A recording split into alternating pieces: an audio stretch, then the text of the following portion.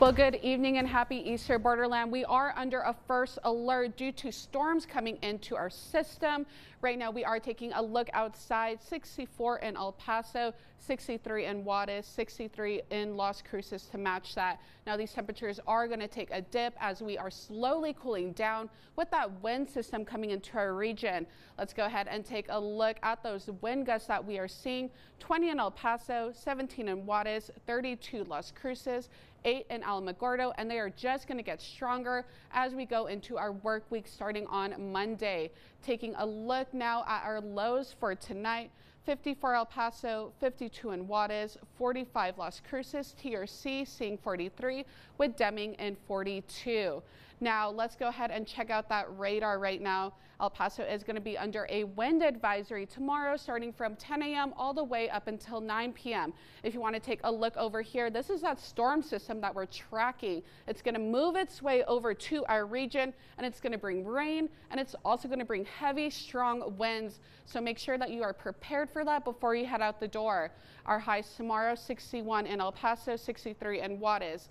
62 in Las Cruces. Cloudcroft, Rio Ruidoso, of course, going to be a little bit cooler, 46 and 35 over there.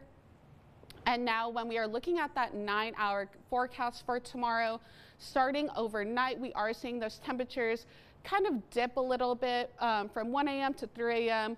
Mid lower 50s about 4 a.m. as we start to see those morning hours. We are kind of climbing a little bit into the 50s, but with those wind chills, it is going to feel a lot cooler. So make sure you bring a jacket. No one likes to be cold. Very uncomfortable, personally to me.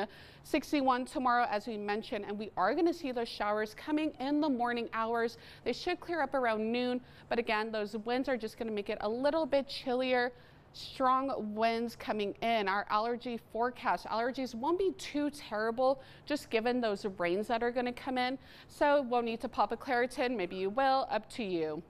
Taking a look at your nine day exclusive forecast though. Monday, we have our stronger winds and those showers 61 degrees. Tuesday, that storm system is still going to be sticking around, but it moves out of our borderland by Wednesday, Thursday, and Friday beautiful conditions, the perfect springtime temperature. If you want to get out and about, I would say those are the days to do it. Friday, we go up to 81 degrees, a little bit warmer. Saturday and Sunday, we have beautiful warm breezes. And then finally, we move into next Monday and Tuesday, same thing, 76 degrees, warm breezes. Stick around, we still have plenty of news to get to.